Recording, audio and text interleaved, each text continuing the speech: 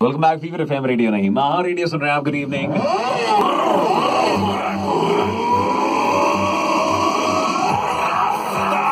रफ्तार इवनिंग्स पर आप रघु रफ्तार के साथ और देश की रफ्तार निर्भर होती है हमारे जो किसान भाई है यस अगर वो ढंग से काम कर पाएँगे तभी ये देश भी आगे बढ़ पाएगा। और वो ढंग से काम करें इसलिए कुछ और भी लोग काम करते रहते हैं ताकि कोई भी प्रॉब्लम्स वो लोग फेस ना करें। एचपीएम इंडिया कृषि रसायन उद्योग इनमें से एक नाम है जो किसानों के लिए फ़सलों के लिए कई सारी चीज़ें बनाते हैं जो भी परेशानी आती है। उनमें से अभी एक किसान भाई मेरे साथ में इस वक्त लाइन पर है। हाँ जी नाम? मैं जाने आलम बोल रहा हूँ ग्राम बमियाना जिला बरेली से। सर ये एचपीएम इंडिया का प्रोडक्ट आप यूज़ करते हैं? क्या कुछ बताएँगे इसके बारे में? हम्म, काफ़ी अच्छा फ़ायदा है। एचपीएम को यूज़ करने से।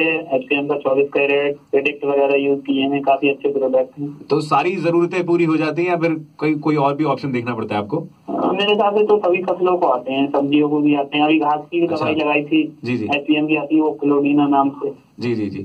हाँ तो मैंने भी यही सुना था कि काफ़ी ज़्यादा मददगार साबित होता है। तो जो भी किसान भाई जहाँ तक भी मेरी आवाज़ पहुँच रही है उनको कोई मैसेज देना चाहेंगे? हाँ मैं कहना चाहूँगा एचपीएम के उत्पादों को यूज़ करें। एचपीएम के प्रोडक्ट लगाने से। कीड़ा वीड़ा नहीं लगता है फ़सल ठीक ठाक रहती है सस्ता भी है और रिज़ल्ट भी बहुत अच्छे हैं। Exactly exactly. रिज़ल्ट भी बहुत अच्छे हैं और सस्ता भी है किफायती भी है एचपीएम इंडिया अगर किसी परेशानी का सामना कर रहे हैं फ़सलों को लेकर तो एक सॉल्यूशन एक नाम याद रखिएगा एचपीएम इंडिया बाकी कल फार्मर्स डे है फीवर एफएम और एचपीएम इंडिया नमन करता है देश के इन असली रत्नों को हमारे किसानों को क्योंकि किसानों की उन्नति में ही देश की प्रगति है। फीवर एफएम रेडियो नहीं महा रेडियो सुन रहे हैं आप। स्टेट